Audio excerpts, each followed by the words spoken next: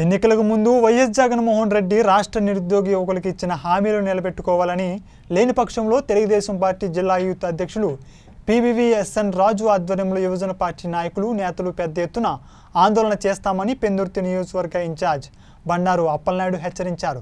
ఈ సందర్భంగా ఆయన యువజన నాయకుల సమక్షంలో ఎన్టీఆర్ విగ్రహానికి పూలమాలలు వేసి నివాళులర్పించారు.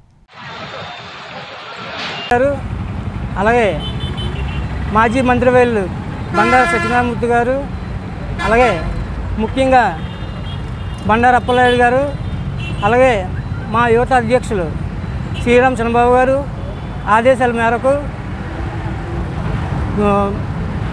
నందమూరి తారక రామారావు గారికి పూలదండ వేసి అలాగే నిరుద్యోగుల సమస్యల మీద టీ స్టాల్ దగ్గరికి వెళ్ళి టీ అది అమ్మడం జరిగిందండి. అలాగే వైఎస్ జగన్మోహన్ రెడ్డి గారు ముఖ్యమంత్రి అవ్వకముందు నిరుద్యోగులకి రెండు లక్షల ముప్పై వేల ఉద్యోగాలు ఇస్తానని హామీ ఇచ్చారు. అలాగే జాబ్ క్యాలెండర్ విడుదల చేశారు. కన్- ఓన్లీ పదివేల ఉద్యోగాలకే జాబ్ క్యాలెండర్ విడుదల చేశారు. కనుక ముఖ్యమంత్రి గారికి విన్నపం చేస్తున్నామండి. మాకు రెండు లక్షల ముప్పై వేల ఉద్యోగాలు యువతకు ఇవ్వాలని కోరుకుంటూ ఈ అవకాశం ఇచ్చిన బండారు అప్పలనాయుడు గారికి బండా సత్యనారాయణమూర్తి గారికి ధన్యవాదాలు తెలుపుకుంటూ సెలవు తీసుకుంటున్నాను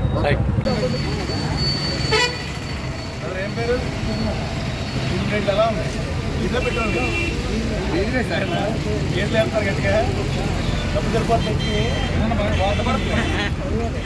ఎట్లా